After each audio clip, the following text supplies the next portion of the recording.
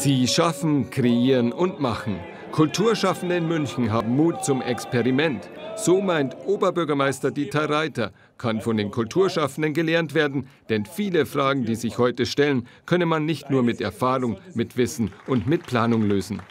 Ja, das ist einer der wesentlichen Dinge, die wir, glaube ich, zurzeit brauchen. Wir leben in spannenden Zeiten, in Dingen, in denen viel Veränderung im Raum steht und deswegen, glaube ich, brauchen wir Mut. Mut, Dinge anzupacken, Mut, Dinge auszusprechen, Mut, Dinge dann tatsächlich auch zu versuchen. Nicht nur immer darüber reden, sondern probieren. Das macht die Kultur, das macht die Kunst eben äh, so spannend und die tun es auch. Und das, glaube ich, das Thema Mut sollten wir von den Künstlern lernen. Der Kulturempfang des Oberbürgermeisters fand in diesem Jahr in den Münchner Kammerspielen statt. Mutige Projekte sind dort Tagesgeschäft. Kultur pur also. Kultur in München ist die Möglichkeit, viele schrille Dinge auf einmal zu tun und das versuche ich so gut wie möglich hinzukriegen. Braucht man dazu Mut? Nö, dazu muss man schissig sein. Kulturschaffende sind stets aufs Neue gefordert, wenn es darum geht, die Münchner in die Museen, Theater und sonstige Kultureinrichtungen der Stadt zu locken. Das Leitmotiv wäre, dass Staunen eine ganz wichtige Eigenschaft ist.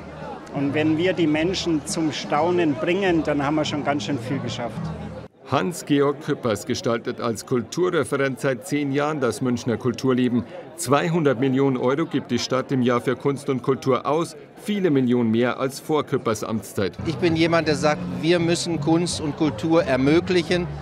Wir müssen die Leitplanken legen, innerhalb deren sich Kunst und Kultur entwickeln kann. Und wir sind nicht dazu da zu sagen, was passiert, sondern wir müssen ermöglichen, dass etwas passieren kann. Feststeht, wenn etwas passiert, dann bewegt sich was. Meist in den Köpfen derer, die für Kunst und Kultur einen Sinn haben.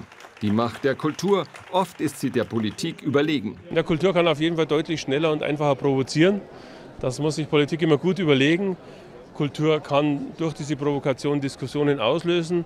Kultur kann revolutionäre Dinge tun, anarchistisch sein, gerade wenn man hier äh, bei Herrn Lilienthal bei den Kammerspielen ist. Kultur kann träumen, in die Ferne schauen, alles Dinge, die die Politiker nicht so einfach können. Das Kulturleben in München brummt. Herausforderungen für die Zukunft sind der Neubau des Volkstheaters oder die Renovierung des Gasteigs. Nächster Akt. Am kommenden Samstag übergibt die Stadt zum Jahrestag des Amoklaufs im OEZ der Öffentlichkeit ein Kunstwerk, das zusammen mit den Angehörigen geschaffen wurde.